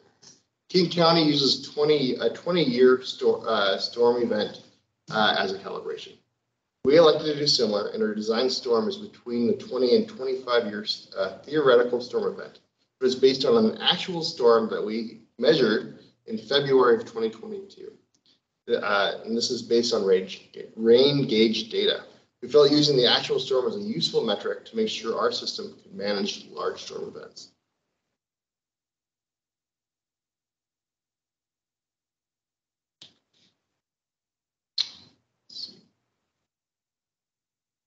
So uh, here's an image of the storm event for a certain section of, of sewer pipe. Uh, gray is the normal diurnal use on, on that section of pipe, and this is an actual uh, measured flow that we saw. And then blue is the storm in question. As you can see, we observed a lot of storm uh, surface and or groundwater entering that particular uh, stretch, of pipe. And, and this, by the way, is the worst case scenario. This is the worst spot in the city. Most of our city was great. This was not. We will be fixing this. But it's a good example. Uh, this is the same section of pipe in profile. Blue is our pipe depth. Green is the ground surface, and red is surcharging uh, within those sewer, those manholes. Again, this is the worst case in the city, and it has been included in the CIP, but just wanted to kind of show it because it does really highlight what we're trying to deal with. So this all boils down uh, to a policy statement in maintaining our sewer system capacity. The city has two distinct geographic features that we need to worry about to as we account for this policy. We have the, the valley floor, where we have sewer lines that are shallow and flat, and then we have mountainsides, where sewer lines are on steeper grades and can be really deep. For this reason, we are proposing two different thresholds for investigating and upsizing or repairing pipe segments to improve capacity. Our plan is to include uh, segments of pipe that meet these thresholds in the CIP. As we ev- evaluate, there is some terminology that we need to, that I need to clarify. Um, The hydraulic grade line, which is, this line right here is the uh, depth of water within the segment of the pipe. It can be less than the diameter of the pipe, but it can also be higher if sewer is backing up into manholes. The hydraulic grade line is essentially evaluating, the evaluation of the surcharging.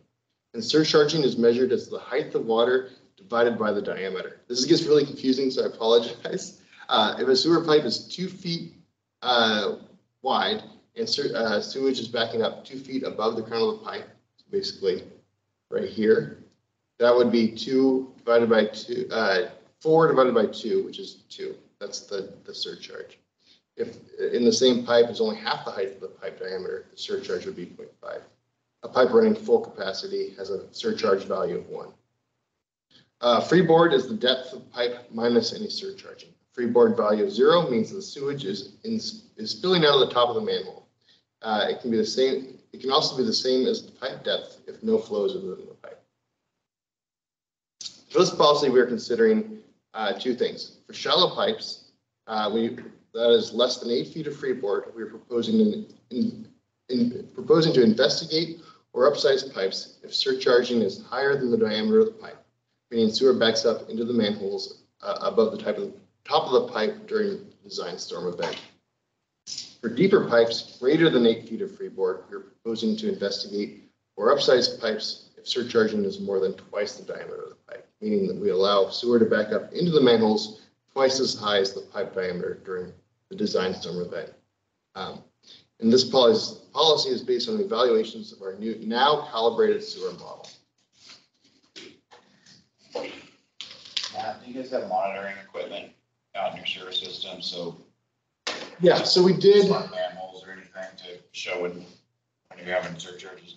we did, we put it in for six months and we are s- King County Metro, or I'm sorry, well, it was Metro. King County Sewer still has some in there, so we're still evaluating, yeah. Um, But, so the question for the board is, uh, do you concur with our two-pronged policy approach of um, basically having two different thresholds, one for shallow pipes and one for deeper pipes? Yes. Yes, I can't comment on your numbers. I mean, that was obviously engineered, but It's all complicated, I apologize for that. but the, the concept is good.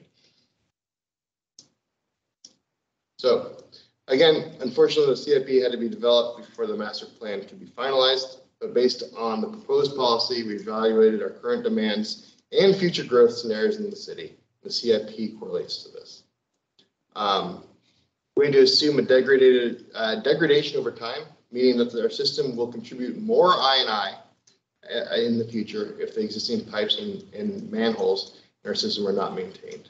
Uh, We are currently uh, using King County standard to seven percent increase in I and I entering our sewer system every decade. Based on this, we had only one section of pipe that we added to the CIP for investigation and remediation.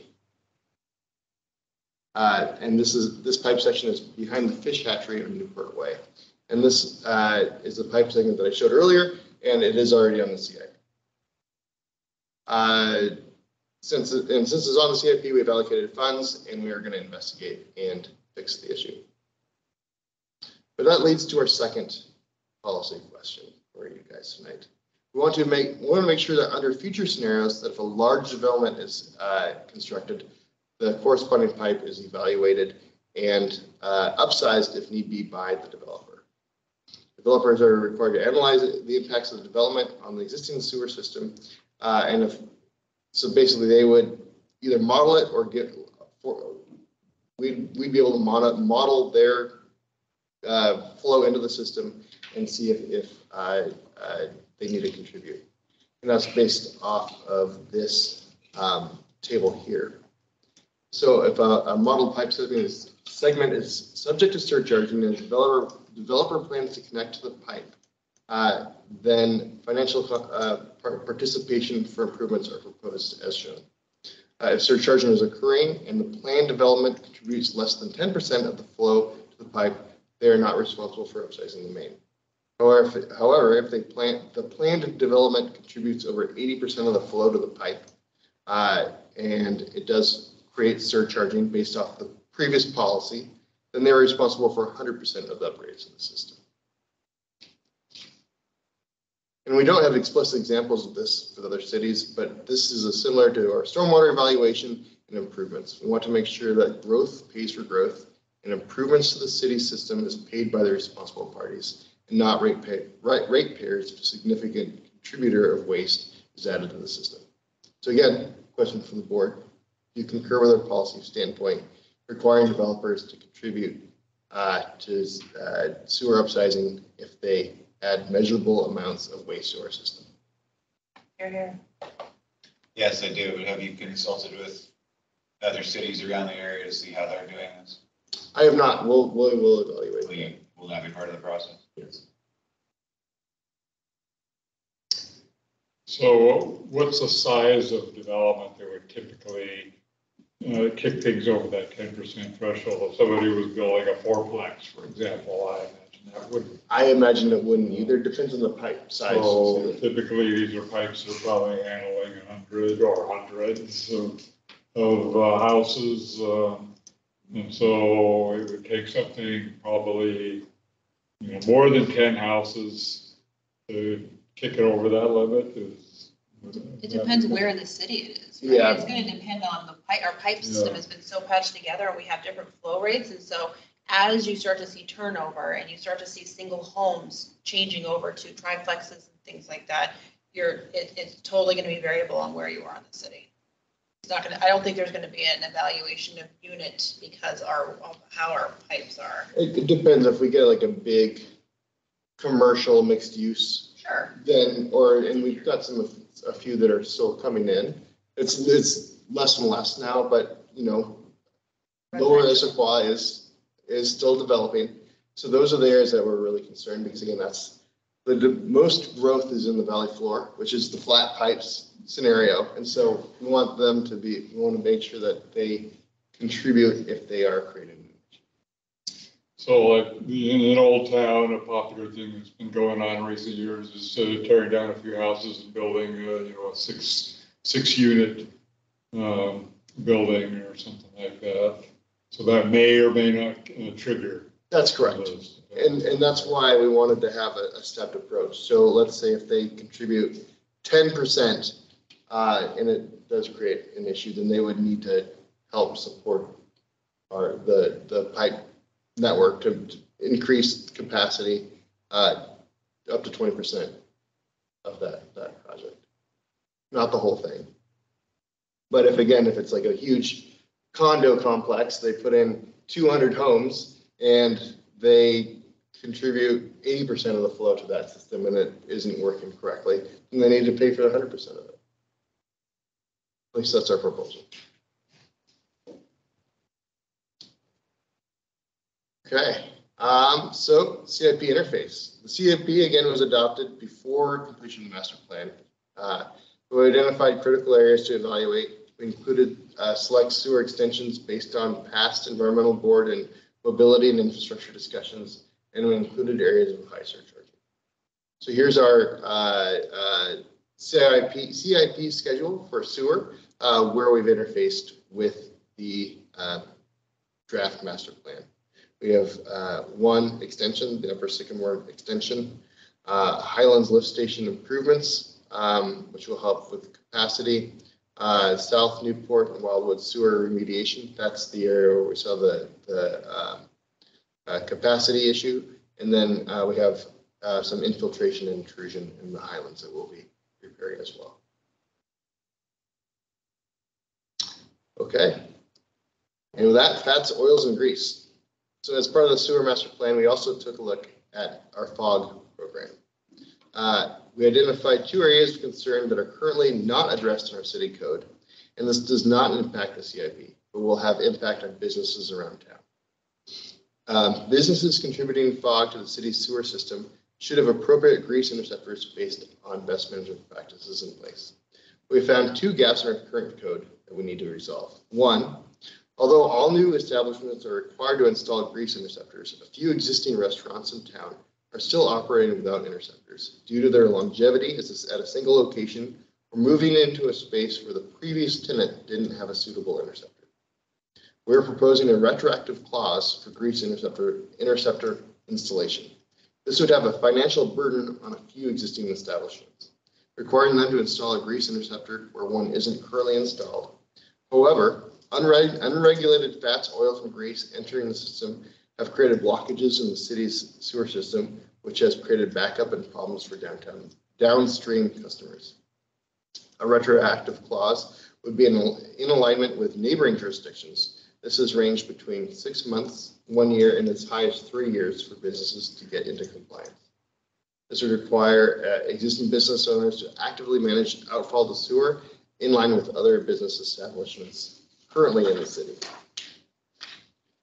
And uh, requiring a grease interceptor varies greatly depending on the size and type of the interceptor installed and amount of use projected. The cost can vary between three hundred dollars for a very small hydromechanical system to as much as twenty-five thousand dollars for a large fault system. That's typically for a very large manufacturing establishment. Uh, This depends on the amount of grease produced, producing fixtures. The size and price needs to be completed by a licensed mechanical engineer. Uh, Work requires a plumbing permit. So all said and done, the cost for an interceptor and permit would most likely cost between 3000 and 8000 for a standard restaurant to get into compliance. So the question for the board on this one is, do you want a retro, retroactive clause? And if so, what time frame should we use?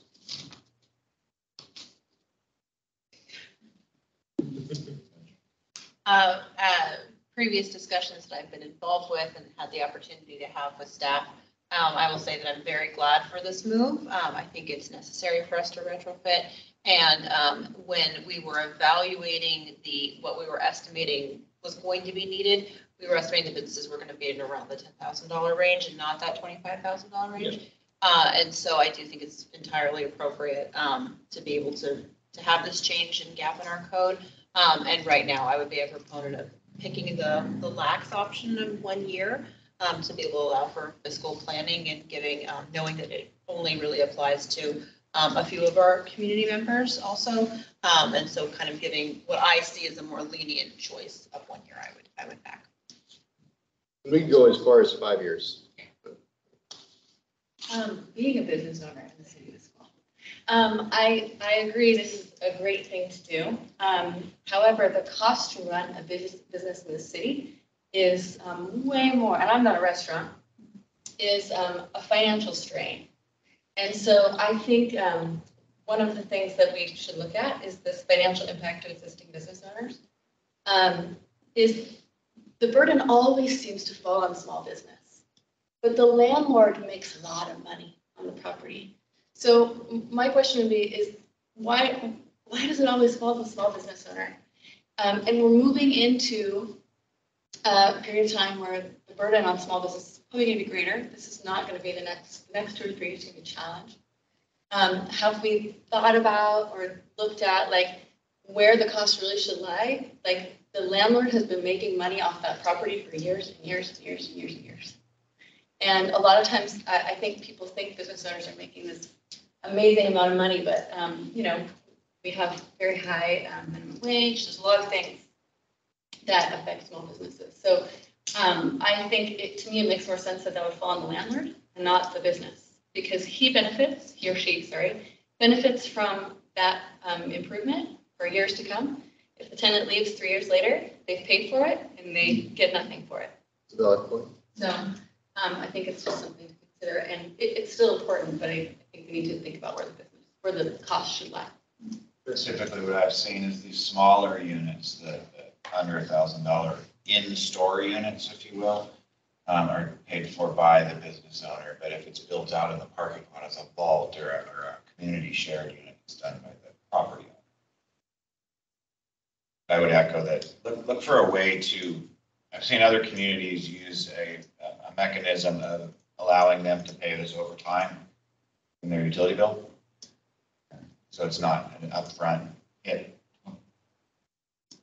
We also talked about grants that are being given by county and Olympia go to the business owner and not the landlord previously. And so when looking at um, ways that to be able to utilize um, current existing um, funds to be able to supplement and how things end up getting tracked, um, it seems to be, the information we had was it was easier to go to the business applicant rather than to the landlord, for what it's worth. Which, that, I mean, I think, I just think we need to be thoughtful about it. Agreed. You know, especially if we want our city to flourish, you know, small business, I believe, is part of every city.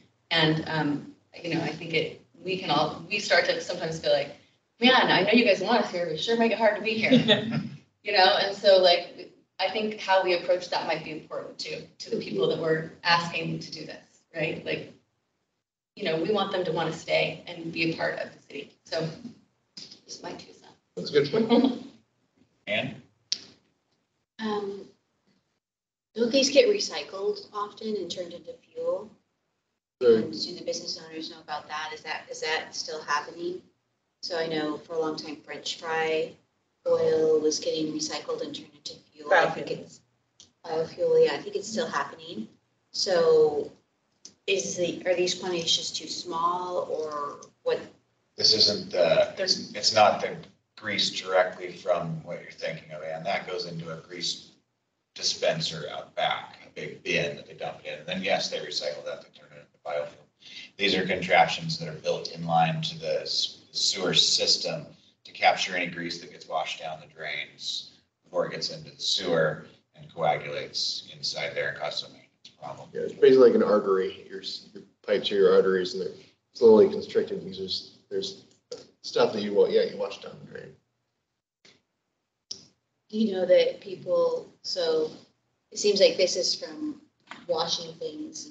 So are there people in Issaquah that do recycle their grease, oil and fats? I, I don't know that. Uh, Evan and, or Julie, are you online? Do you?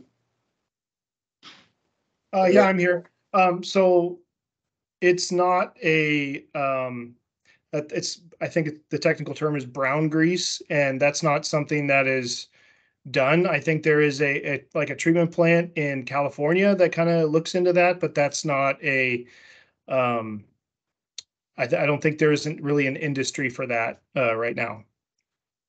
For, for, as far as, uh, grease from a grease trap. But yeah, like, like Don mentioned, uh, fat, uh, gre- um, fryer oil and that kind of stuff, one hundred percent, that's being used a- and, recycled. Uh, but these are, are more of just a waste product. Cool, thanks. Right? To that point, I believe that Issaquah doesn't have any drop-off locations. Right now, King County does, but Issaquah does not. And so when we talk about um, how we create um, easier avenues for people in Issaquah, um, the same way that I would advocate for there being, um, not all communities have compost service as well. And so being able to have, whether it's a weekly or a monthly sponsored program, to be able to have people come and drop off um, grease, to be able to drop off compost, I think is a really interesting thing for us to explore um, as things to be able, to, and resources to bring to cities, to our city for residents who don't have that necessarily available to them to their, with their current, you know, garbage plan included.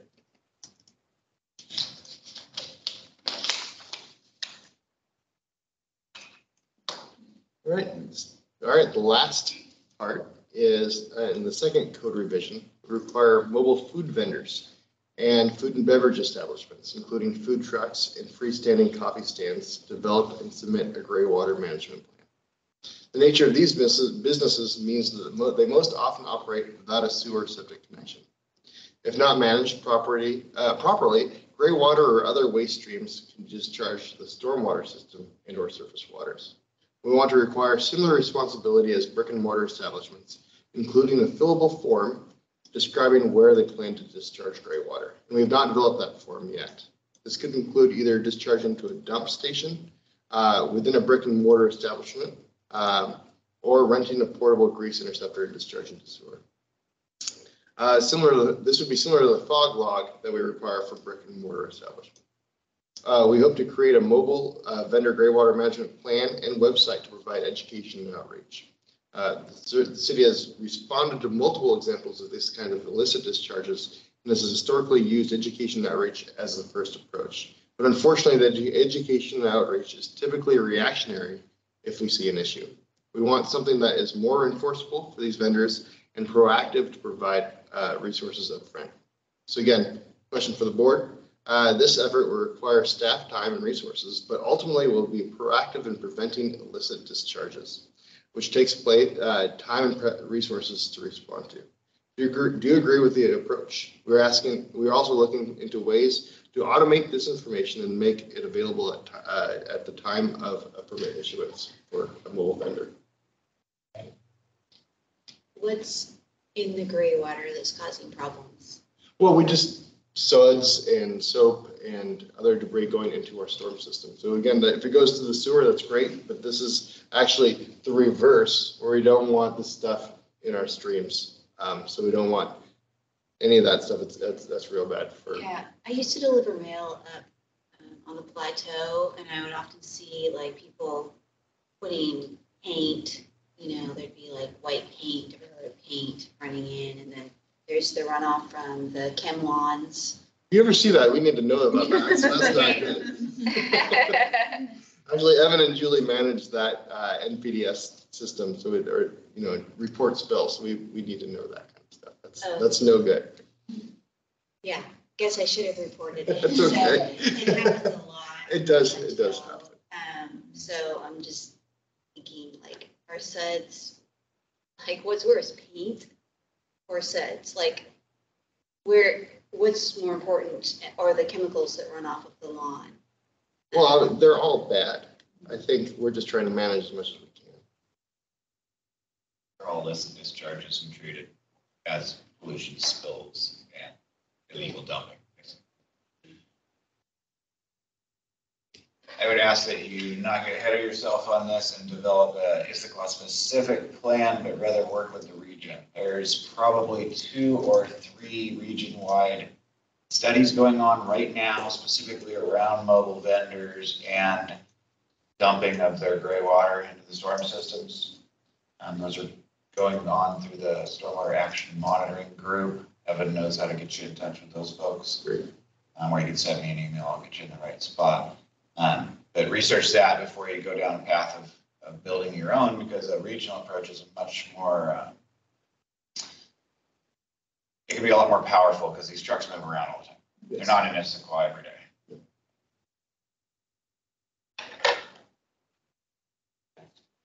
So good. Joy? Um, I highly support the language for further oversight, um, and specifically referring to the further code needed to manage the gray water discharge.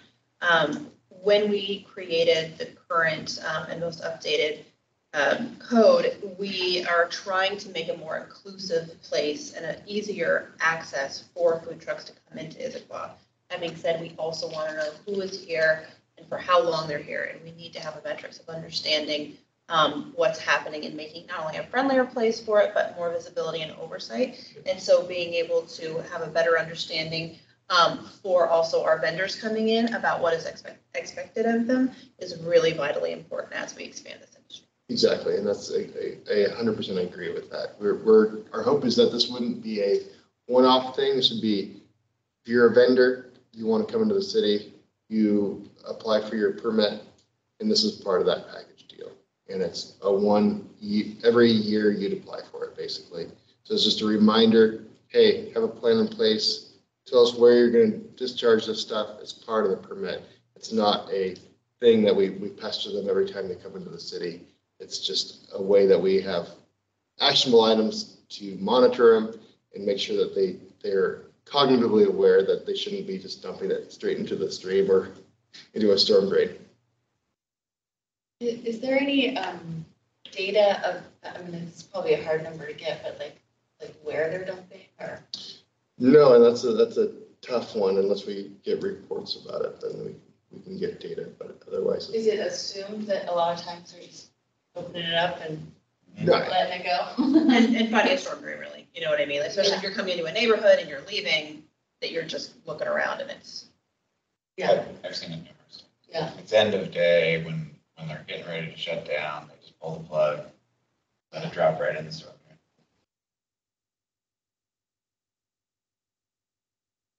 But if it's going in the storm drain, Goes directly to the stream, oh, okay. no treatment Okay, whatsoever. that, that storm drain. Um, I'll also add, you know, sorry, um, we have had lots of conversations with a lot of these mobile business vendors. Um, in times when they've had, uh, issues, but then also just going and, and having conversations with them through our pollution prevention program. And a lot of them are having it pumped out and hauled off through, I mean, the, the grease trap vendors that come, they can, they pump out their tanks as well. A lot of these trucks have tanks on them and uh, they they are hauling that off and and getting that taken care of. Another place where we always recommend people is uh, the RV uh, dump in Issaquah. We we recommend you know going right there is a, is a place to do it as well. So there are plenty of trucks that that are doing it. We just uh, yeah, we're just trying to have that documented. So again, for like that knowledge base to make sure that everyone is aware of uh, areas where, where you can be doing it and then that, that they're doing the right thing too. So. I- I guess just one thing to add, I think um, human beings operate better when they're um, rewarded, not punished.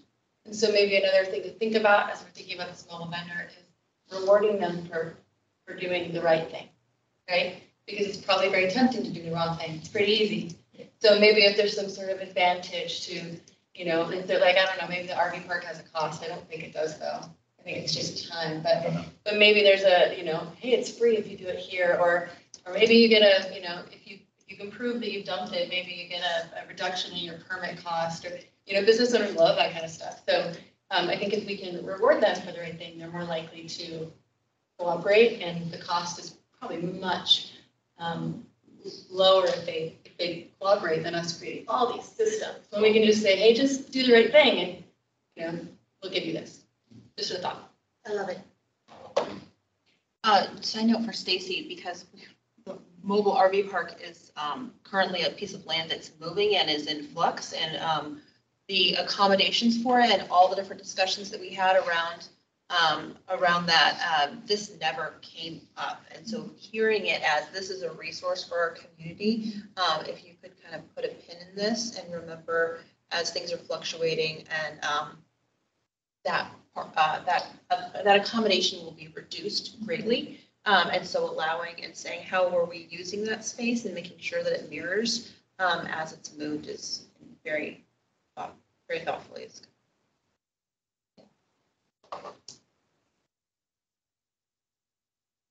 Well, that is it. This is just a recap of the policies that we discussed, but I think we, I got the information I needed.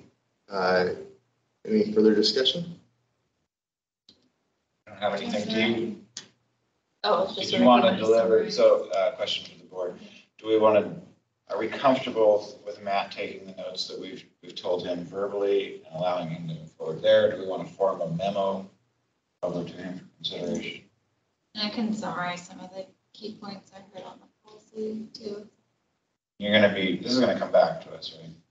Um, Or is it not? I don't think so, uh, unless you guys are feeling like you want any elements to be rehashed and discussed again. We'll see stormwater, we'll see surface water, but we shouldn't see this again. The- Yeah, surface water has actually been adopted, it's that, the Oh, master okay. plan Yeah, yeah, has yeah. already been. This is the last of the, one of the master plans. I would, I would suggest we just leave it as is and allow Matt to have our notes that mm-hmm. Stacy puts together and reflect it in there, unless everybody, anybody wants a formal memo, and then I'll, Stacy can pass that. I really appreciate you guys' time. Thank you, Matt. Yeah, thanks. Great presentation.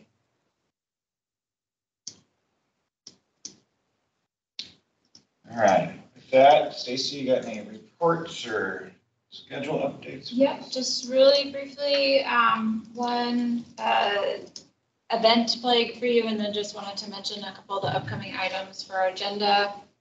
Um, July twenty-fourth, you should have received an invitation as well as a reminder, is our LEED for city certification celebration luncheon. Um, there'll be lunch, we'll do a brief program with talks, and then there'll be a tour of a salmon restoration site near Pickering Barn. Um, so would love to see all, most of you there if you're able to come. Um, we'll also be doing an event with council that evening. And then we'll be doing some events for the public the following day. So if you're not able to make it for the luncheon, um, David and I will be at the resource fair in front of the community center on that Tuesday, the twenty-fifth, um, displaying the posters around the LEED certification. There's also the chalk art festival that day, and then there's a concert, uh, that evening. So we'll be there, um, to interact with the public and, and showcase and celebrate the LEED certification. Um, and to see board members um, at any or all of those events. Um, we have a pretty heavy uh, agendas for the next couple of months as we start to really dig deep into the comprehensive plan. So we'll be taking a lot of what we um, heard from Stephen, discussed with Stephen today, and then starting to move into reviewing uh, some of those new components for the new environment element or whatever we decide to name it. Um, so that'll be a major focus over the next couple of months. Um, and then we also have a couple of decision items that will be coming forward. Um, I believe we'll have the municipal decarbonization resolution um, for you all to review next month. And that's uh, committing the city to essentially do a decarbonization study for all of our buildings. We'll be looking for feedback and approval of that. Um, we'll be having the sustainable purchasing policy coming within the next couple of months, which will be another action item. Um, next month, uh, per the request of the board, we'll also hear from our communications team. Um, have an opportunity for you all to meet them, hear what they do. Um, but then there was also interest in hearing a little bit more about the public engagement toolkit. So Thomas will be here to present that. So a lot on our plate for the next few months, but some exciting action items and digging into setting vision for the city. Thank you. Any announcements or new business from the board members? Hearing none, we're adjourned. Thank you. Thank you. Thanks, Alex. Thanks, Allison. Thank you. Really great work, Matt. Oh, thank you. Yeah. Thank you, man. Thank you, guys.